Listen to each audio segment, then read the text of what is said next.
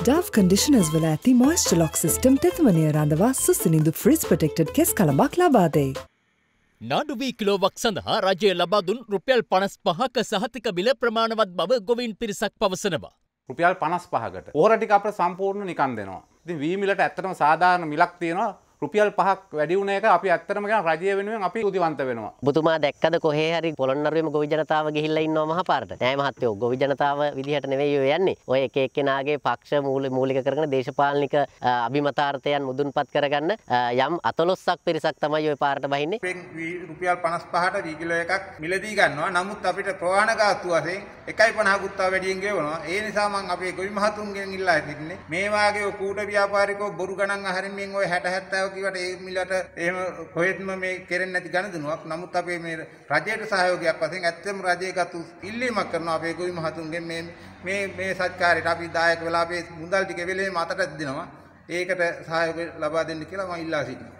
කෙසේ වෙතත් වීවලට සාධාරණ මිලක් මෙතෙක් හිමිව නොමැති බව පොළොන්නරුව දිස්ත්‍රික්කයේ ගොවි සංවිධාන නියෝජිතයින් පිරිසක් සඳහන් කළා. අපිට මේ මිල වැඩියෙන් නාඩු රුපියල් 60 සම්ම 70 කිරි සම්ම 90ට ওই මිලට හදලා දෙන්න.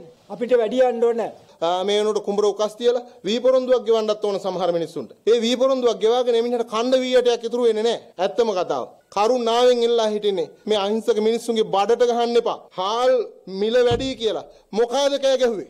කිසිම කෙනෙක් කෑ ගැහුවේ නැහැ. දැන් බලන්න ආණ්ඩුවට මොනතරම් ලස්සනට දැන් මේක හසුරවන්න පුළුවන්ද කියලා. ගොවියා කියනවා නාඩුවලට 60ක් දියන් එතනින් පස්සේ 90 දක්වා කීරිය වලට එනවා. ඒතර මේකට සමගාමීව අපි කොහොමද හාල් වෙන්න පොළ හදන්නේ කියන එක ආණ්ඩුවට ප්‍රශ්නයක් නෙමෙයි. මේක නොකර මොකද්ද මේ කුණු කුණු හරපේ. මුන්ට පෙරපාසලක් කරන්න බැරි සත්තු ටිකක් මේ රජයේ බලයට ඇවිල්ලා තියෙනවා. ලැජ්ජායි. මේ අතර ආනයනය කිරීමට නියමිත කාබනික පොහොර සම්පලවල තිබී අහිතකර ක්ෂුද්‍රජීවීන් හමුව ඇති බවට අනාවරණය වුවද රට තුළට අහිතකර කාබනික පොහොර ගෙන්වීමක් සිදු නොකරන බව කෘෂිකර්ම අධ්‍යක්ෂ ජනරාල්වරයා පවසනවා. අහිතකර බැක්ටීරියා වර්ග තියෙනවා ඒවා පසට ඇවිල්ලා තියෙනවා මේවයින් රටේ කෘෂිකර්මයට දැනටමත් අපි ලොකු හානියක් කරලා තියෙනවා ෆයිටෝසැන්ට්‍රික් සර්ටිෆිකේට් එකක් නැතුවද ලංකාවට මේවා ගේන්නේ කියලා. එහෙම එකක් නැහැ හැම වෙලේම අපිට ෆයිටෝසැන්ට්‍රි රිපෝට් එකක් එන්න ඕන පිටරටකින් ඊට පස්සේ ඒක හරහා තමයි ඒකේ නිවැරදිතාවයත් එක්ක තමයි පරීක්ෂණ පවත්වන්නේ. ඉතින් වැරදිලාරි එතනදී යම්කිසි වෙනසක් සිද්ධ වෙලා තියෙනවා නම් අපි ඒකත් වාර්තා කරනවා. දැනට පෝර වර්ග ආපු ඒවායේ ලොකු තොග ඇවිල්ලා නැහැ කිසි විදිහට මොකද සාම්පල් විතරයි ඇවිල්ලා තියෙන අපිට මේ විදිහට පරීක්ෂා කරන්න